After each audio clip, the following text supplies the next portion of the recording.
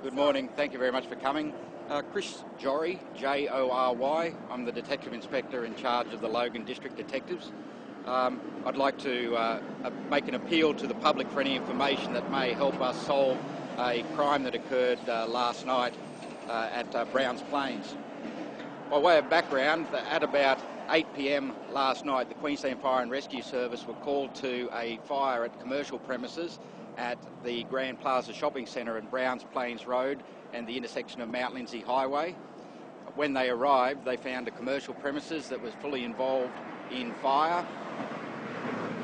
A short time later, detectives and police attended the scene and declared a crime scene. The fire was extinguished by Queensland Fire and Rescue Service, however the commercial premises was extensively damaged.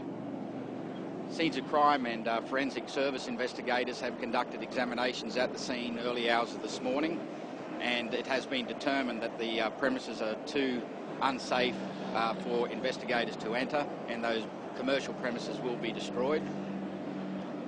Of interest to police, however, is that at about 7.30am yesterday morning, staff at the Grand Plaza Shopping Centre disturbed two young males breaking into those commercial premises.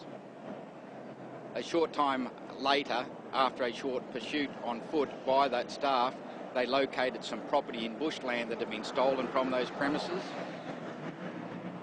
We are particularly interested in any information that may help us identify who those two young males may be and any information from the public that may help us identify who is responsible for the uh, the burning of that commercial premises last night.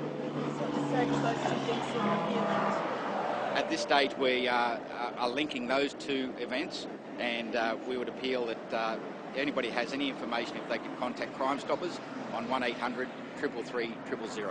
So I missed that question. So they are suspects, are they? Yes, yeah, well, they're suspects for the uh, break and enter, obviously, and we are considering that both events are linked. What items were stolen in that break and enter? Uh, there was a number of uh, electronic items, including computer equipment, that was taken and uh, a short time later recovered by staff from the uh, uh, from Grand Plaza Shopping Centre.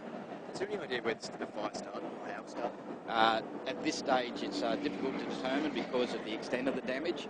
Uh, however, uh, there was electricity connected to the premises, but it is clear to us that uh, the circumstances are suspicious. The restaurant hadn't been operating for some time. Has, has this sort of thing happened before? The premises had been unoccupied for about two and a half months. However, the information that I have is that the building was subject to a new lease and a uh, commercial business was intending to open a restaurant at that site in the uh, coming months. So you've got no real description at this stage of the suspects? Unfortunately, the description is very scant. However, from the information from staff and security staff from Grand Plaza Shopping Centre, I've been advised that we're looking for two young men, aged in their mid-teens, both Caucasian, wearing dark clothing, jeans, and carrying backpacks. Any idea on the dollar amount of the damage? Uh, hundreds of thousands of dollars damage has, uh, has occurred.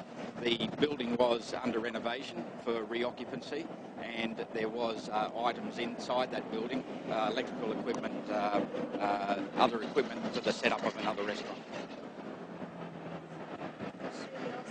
Thank you.